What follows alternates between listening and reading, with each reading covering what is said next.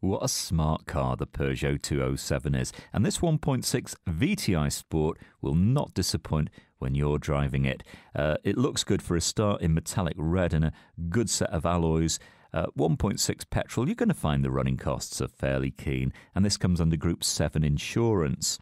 Now, it comes from 2010, and we only have about 16,500 miles on the clock, so of course that's really nothing for its year. You've got a cloth interior, it's stylish, it's very comfortable. You've got climate control, power assisted steering, CD and radio, so it has all the right ingredients. And on the move, well, you're going to get about 47 to the gallon, but even more on a longer journey. Well, with about 1,400 cars on our super site at Winsford right now, when you come down, you might be a bit sport for choice, but come down anyway. Maybe this is the car that you're going to make friends with and take home with you.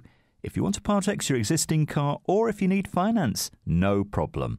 How about a test drive? Come and discover this great car for yourself at Fords of Winsford.